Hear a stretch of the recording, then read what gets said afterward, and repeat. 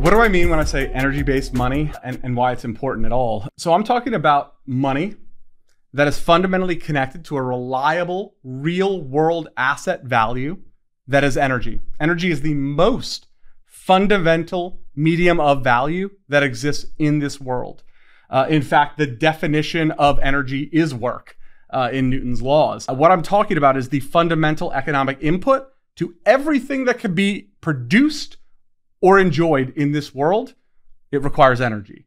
So, what I'm talking about is if you're trying to achieve purchasing price parity or power over time, the only historical, consistent, stable form of value is energy. Now, increasingly, that energy is now being transformed into compute power. Um, and so the Quai network, what we have done is created a native, non intermediated, stable coin connected to the cost of energy. And we do that by connecting it to the proof of work difficulty mechanism and then discounting it by the expected efficiency gains of computing power over time.